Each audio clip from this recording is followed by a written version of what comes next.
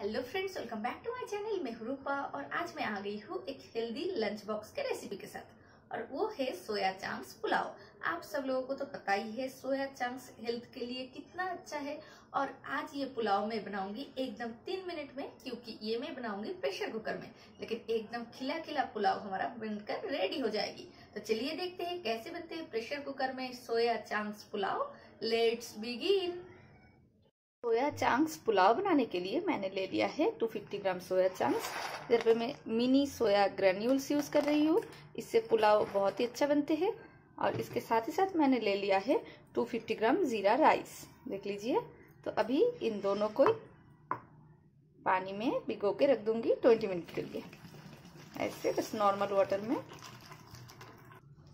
Normal water में बस भिगो के रख दीजिए। 20 मिनट के लिए। 20 मिनट बाद मिलती हो।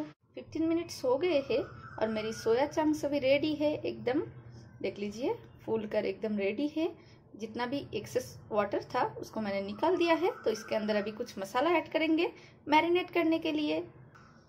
ऐड कर देंगे two tablespoon curd half teaspoon salt half teaspoon red chilli powder half teaspoon हल्दी पाउडर।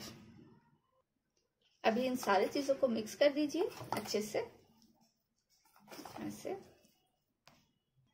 देख लीजिए, सारे चीज़ हमारा मिक्स हो गए हैं तो अभी इसको 15 मिनट के लिए रख दीजिए मैरिनेट होने के लिए। तो चलिए, इस टाइम में देख लेते हैं पुलाव बनाने के लिए और क्या क्या इंग्रेडिएंट्स हमें चाहिए। सोया चंक्स पुलाव बनाने के लिए हमें चाहिए एक बड़ा साइज़ का ऑनियन ऐसे थिनली स्लाइस किए हुए। एक मीडियम साइज़ का टमाटर, इसको भी फाइनली चॉप्ड कर लिया है। थोड़ा सा गार्लिक क्लोव्स उसके साथ साथ तीन ग्रीन चिली थोड़ा सा कोरिएंडर लिप्स फाइनली चॉप्ड किए हुए। Ginger and garlic paste one teaspoon साथ ही साथ हमें चाहिए one teaspoon salt and half teaspoon हल्दी पाउडर मैं यूज़ करूँगी रिफाइन ऑयल इधर पे मैं यूज़ कर रही हूँ राइस ब्रान ऑयल और इसके साथ ही साथ हमें चाहिए कुछ सूखे मसाले। हमें चाहिए हाफ़ टी स्पून जीरा, तीन चार रेड चिली एक बे लिप्स उसके साथ ही साथ हमें चाहिए हाफ़ टी स्पून अमचूर पाउडर, हाफ़ टी स्पून धनिया powder, one fourth teaspoon garam masala powder, half teaspoon जीरा powder, half teaspoon red chilli powder और मैं यूज़ करूँ राइस ब्रान ऑयल। तो चलिए शुरू करते हैं। तो देख लीजिए 15 मिनट हो गए हैं और सोया चंक्स हमारा एकदम मैरिनेट होकर रेडी है और साथ ही साथ राइस भी हमारा वाटर सोक करके एकदम रेडी है। तो चलिए अभी कुकर चढ़ाते हैं, क्योंकि ये सोया चंक्स पुलाव मैं बनाऊँगी कुकर में। बहुत ही इजी तरीके से, लेकिन खाने में एकदम मस्त बनेगा। घर में ज़रूर एक बार ट्राई कीजिए।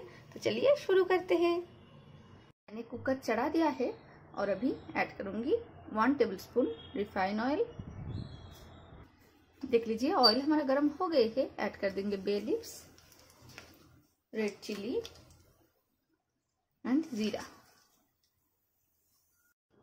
सारे चीज़ों को थोड़ा सा फ्राई कर लेंगे। अभी ऐड कर देंगे अनियन।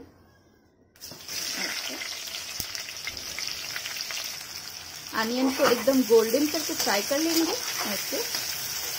फ्राई कर लीजिए। देख लीजिए, अनियन हमारा एकदम गोल्डन होके फ्राई हो गए हैं। तो अभी ऐड कर देंगे गार्लिक क्लोव्स। इसको भी थोड़ा सा फ्राई कर लेंगे ऐसे मिला के। ऐड कर देंगे जिंजर एंड गार्लिक पेस्ट साथ ही साथ मिला के फ्राई कर लेंगे ऐसे ऐड कर देंगे सॉल्ट एंड हल्दी पाउडर मिला देंगे. अच्छे से मिला दीजिए. ऐड कर देंगे टमाटर और मिला देंगे. इसको भी साथ ही साथ थोड़ा सा फ्राई कर लेंगे. फ्लेम को मीडियम में कर दीजिए और इसके अंदर ऐड कर दीजिए सोया चंक्स मैरिनेट किए हुए। ऐड कर दीजिए। अभी मिला दीजिए सारे चीज़ों को एक साथ। ऐसे मिलाइए। अभी ऐड कर देंगे सारे सूखे मसाले, जैसे रेड चिली पाउडर, जीरा पाउडर, धनिया powder, garam masala powder, and amchur powder. और मिला देंगे। देख लीजिए, सारे चीज़ों को मैंने मिला दिया है। तो इसके अंदर अभी ऐड कर देंगे कोरिएंडर लिप्स चॉप्ड किए हुए। तीन ग्रीन चिली इसको मैंने स्प्लिट कर दिया है। और अभी इसको थोड़ा सा पाँच मिनट के लिए कुक कर लीजिए। कुक कर लीजिए। देख लीजिए सोया चंक्स हमारा पूरा के पूरा कुक हो गए हैं। ऊपर से ऑयल आ रहा है। तो इस टाइम में पूरा के पूरा कुक हो गए हैं। तो अभी ऐड कर देंगे राइस राइस में ऐड कर रही हूँ 300 ग्राम। और इसको हल्का हाथों से मिला देंगे। बस हल्का हाथों से मिला दीजिए।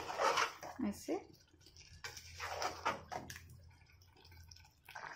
और अभी वाटर भी ऐड कर देंगे 300 हंड्रेड एम ऐसे ऐड कर दीजिए। और मिला दीजिए एक बार। और अभी ढक्कन लगा के दो सीटी लगा लेंगे। तो दो सीटी लगा के मैं मिलती हूँ।